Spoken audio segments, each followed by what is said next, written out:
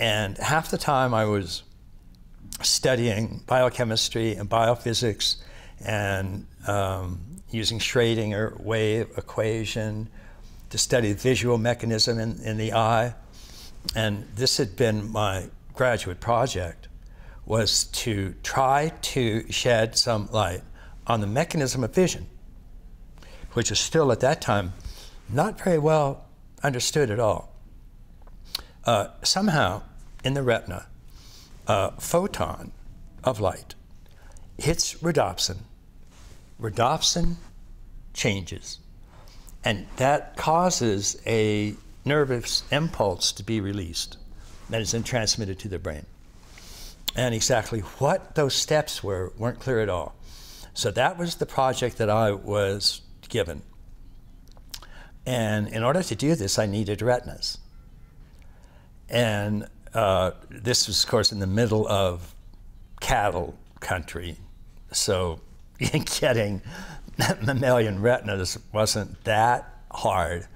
Um, I just walked in one day into uh, the floor, the slaughtering floor of American Stores Packing Company, and just walked up to the first guy I saw and said, "Look, you know, I'm doing research on eyes and retina and stuff, and I know you guys need these eyes for like hot dogs and shit, but could I, you know, get like a hundred of them a week?"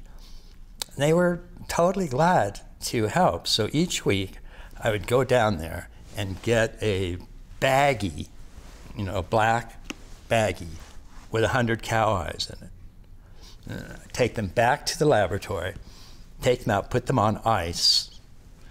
So I had a hundred eyes staring at me, which is a very, very weird, spooky feeling. It's like some Alex Grey painting, you know, all these eyes sort of coming at you um, I would cut them open, scrape the retina out, use a process of extraction, get the rhodopsin out.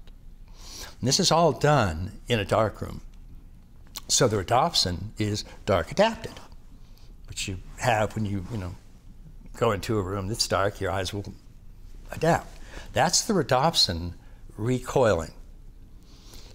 then I would put in certain electrodes that would measure calcium, potassium, sodium, zinc, and then just go over and turn the light on and watch the changes as photons were absorbed and there was a shift in the, in the mineral composition.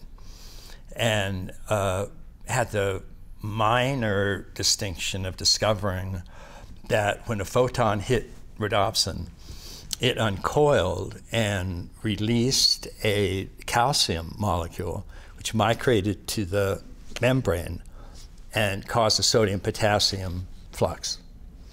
And that was what was one of the primary um, causes of vision. And um,